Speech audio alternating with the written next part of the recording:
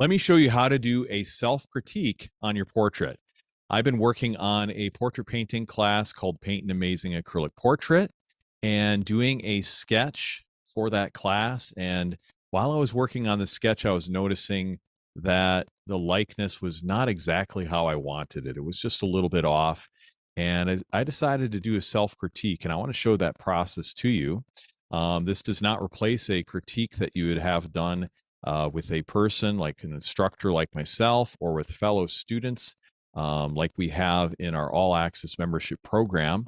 But it is very helpful for you to critique your own work and it will um, hopefully give you some tips on how to improve your portrait's likeness, proportions, and other aspects um, so that maybe you might not need critiques as often or you know you can do a little work before you decide to submit your work for critique let's take a look here. I'm going to switch over to my screen. And what you'll want is to use photoshop gimp or another image uh, editing program. And you'll want to upload your reference photo first. This is the way i'm doing it. Um, so in this case here, I have the reference photo of my wife that I'm using for the class with the grid overlay uh, kind of subdued a little bit. I made it a little more uh, transparent just so we can see the image better. Then you want to go ahead and upload,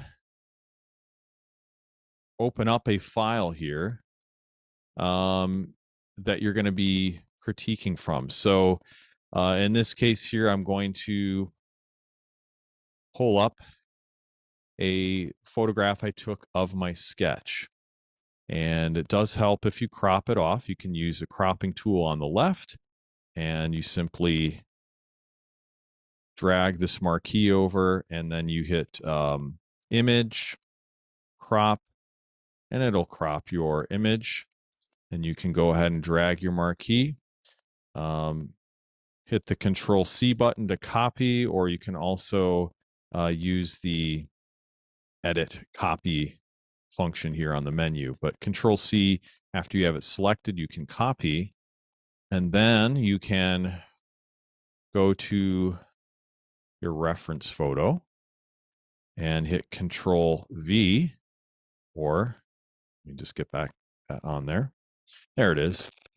Control V, or you can go down to your option here as well. It should hit here, paste you would hit the paste. And Control V also will do paste for you. If you hold down the Control key and hit V, will paste, or you can just go Edit, Paste.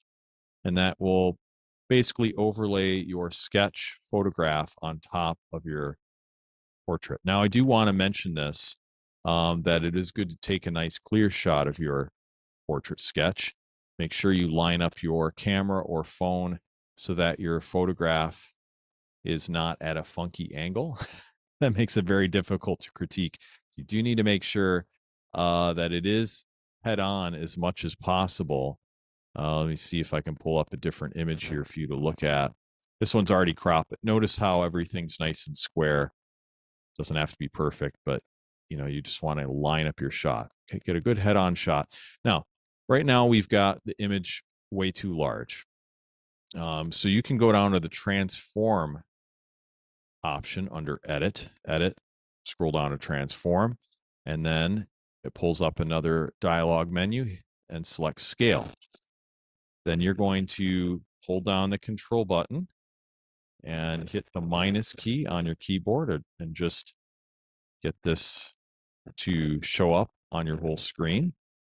And then you use your mouse and you're going to use left mouse button and you're going to drag the image to a smaller size so it fills the screen. You hit the mark move tool, it'll give you box asking apply the transformation. We hit yes, apply it.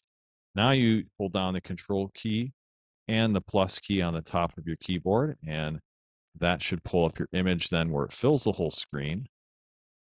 And it should be pretty close. Now, it, it might not be an exact match, so here you're going to have a layer on top of your background. You can see that on the upper right. And what you'll want to do is go to the opacity and pull the opacity down to about 50%. Now you can see where your image is at. And what you want to do is try to line up your image um, as much as possible, the sketch on top of the reference. And I try to line up the eyes. Now we can kind of see the grid lines too, where they line up. But here we can see where we're at. And now with this, I can zoom in and literally see where I might be off on my sketch. So I notice, and what I'm doing right here is I'm clicking the visibility tool on the left here. There's a little box with an eye on it, and that indicates whether the layer is visible or invisible. So you can make it appear and disappear. And that way you can see as you're looking back and forth where you might be off. Now, as I cycle back and forth quickly, I can see the mouth looks a little bit off. Possibly, I can resize this just a bit.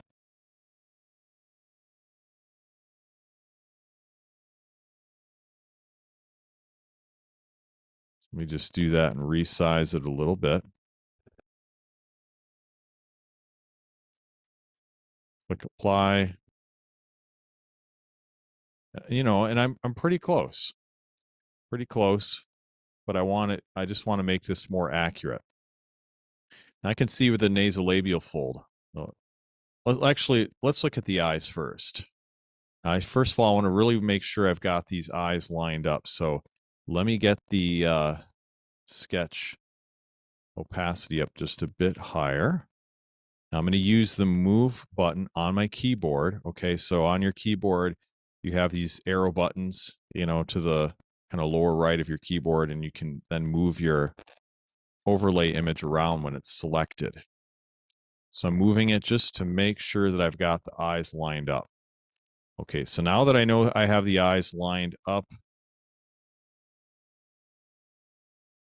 I can ask myself, how close am I? It looks like the mouth is a little too far down. So let's let's do this.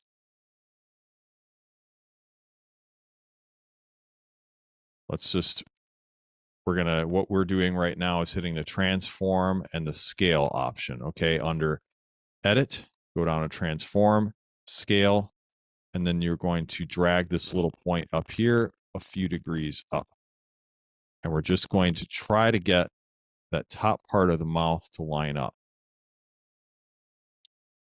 Just get that top part of the mouth to line up because it's possible our photograph wasn't entirely wasn't entirely um you know dead on square or in the in in the process of me you know moving the image and and uh doing a transform on it and shrinking it down. It's possible I didn't shrink it down at the same rate. So what I'm trying to do is again, just lining everything up as much as I can. Eyes, top of the mouth.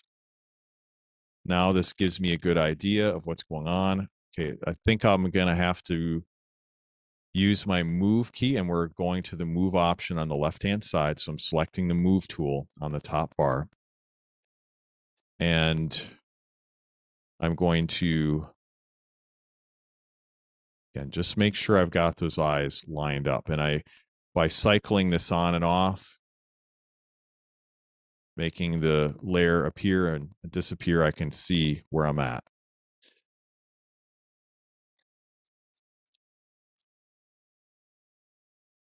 Now, as I look at this, I can see I'm off in a few different points. Looks like my grid lines are pretty well matched up. Let's just take a look here. We can also line this up via the grid lines because we have the grid on both, you know, the sketch and on the reference photo. It looks like my grid lines are lined up pretty accurately.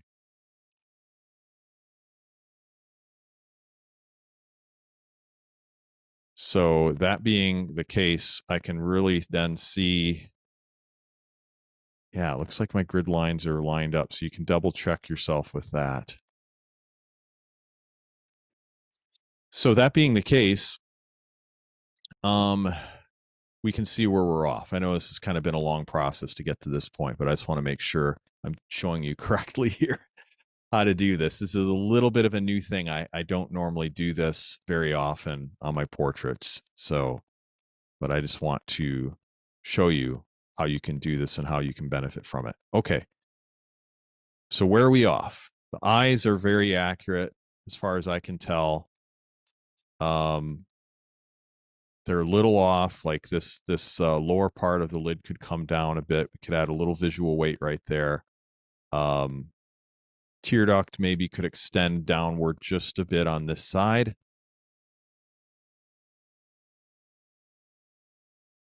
The tear duct on the left eye could come up just a little bit, but I mean, overall, I'd say it's quite accurate. The eyebrow placement looks very accurate to me. Eyebrow comes up maybe a little high right here.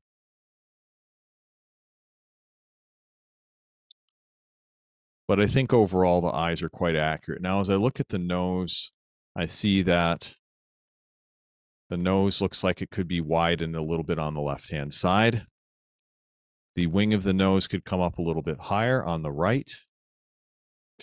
Um, the nasolabial fold could move upward in this direction, 45 degrees to the upper right a little bit. So just basically expanding the width of it. The nasolabial fold on the left, that laugh line could come up substantially, you know, a few degrees higher here. So you can see. And then we look at the mouth, and the mouth could use adjusting as well because it looks like the bottom edge of the top lip needs to come up higher, a little bit straighter. Even the top top edge, we can see that ghost line of where it should be. That could come up higher as well. Let's just knock the opacity down a little bit. 42%. We can see things a little bit more. Yeah. So we can see where that needs to come up higher. Now, teeth need to be then expanded a little bit higher as well. And then we can see that the chin is too narrow or too short on the bottom. It needs to come down a bit more. So that is also something that needs to be corrected. I'm very happy with the hair, how the hair turned out. Seems like it's lined up very well, almost like it was uh, traced on there with projector. But I, I did sketch it by eye, so I'm very happy with how God helped me to do that. Um, but yeah, these these areas here need to be adjusted. And so, you know, we put it up to full opacity, you can see those slight differences. So basically what I do then at this point is just write down a few notes or make some mental notes of what needs to be changed and then go back to the drawing board, so to speak, go back to the canvas and make those adjustments. Um, it also can be helpful to print off an image of this reference photo with the overlay and tape it next to your canvas, uh, get it a lot closer. Uh, if you look at my lessons um, on this class, you'll see that I did exactly that. Um, but make some notations of what need to be changed, possibly print off a reference photo with the overlay of your portrait um, where it's translucent and you can see through it, see what needs to be changed. Like the chin is very obvious. And then make those changes, take another photograph of your portrait, and then check it again. And that's exactly what we're going to do here. So I'm going to make that image disappear. I'm going to pull up another image. Now, this is where I've already gone ahead and made these changes but I haven't actually checked to see whether it was accurate or not. So let's take a look. So here's the sketch. We're going to have to crop this off. You can see how I have that lined up. Doesn't really matter what's in the background. I mean, I just had this sitting on a table with some stuff on it. Doesn't matter as long as you get a good straight on shot. Okay, this is pretty straight on. Not perfect, but pretty straight on. Um, so we're going to take this and Control C, okay, or or you can go down to the copy on edit. Okay, and select that, copy that, go back to your other image, control minus, and then control V or paste. Here it is. Now we just need to hit transform, scale, control minus, so we can manipulate this, get this to fill the screen. Hit the move tool, apply transformation. Yes, apply. Control plus, zoom in. Okay, we have it pretty close. Let's see what we have here.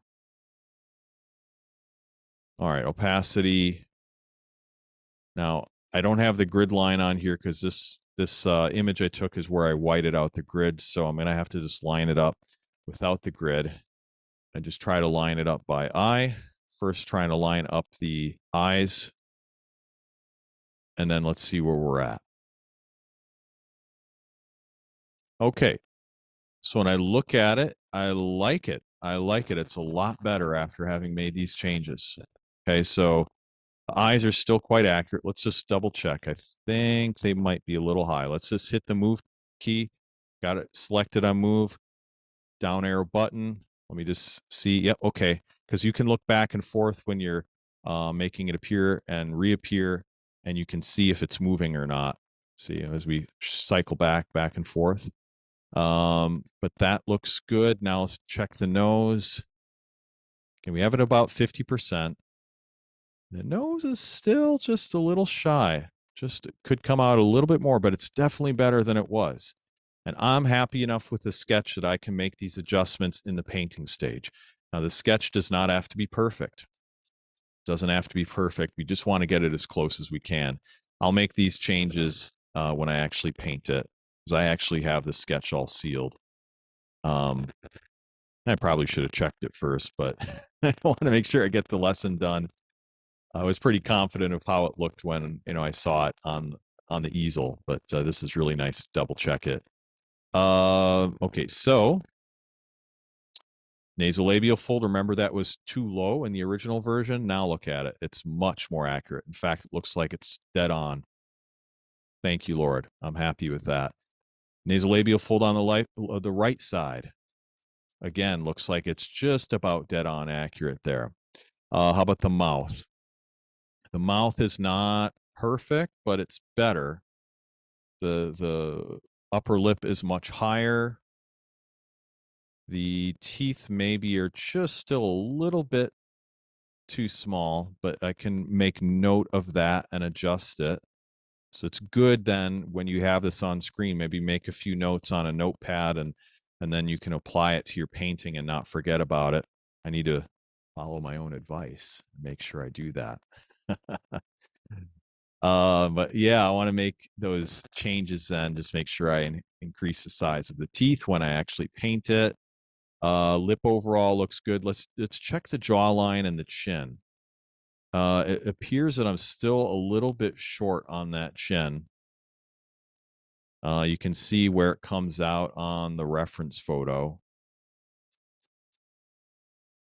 Yeah, it looks like I'm just a little bit short on the chin and on the jawline too. So that that's going to have to come down. I'll I'll have to make note of that when I paint it. I mean, now one of the other things I could do is go over it with uh, titanium white, and I could just actually sketch the new line in where where it should be.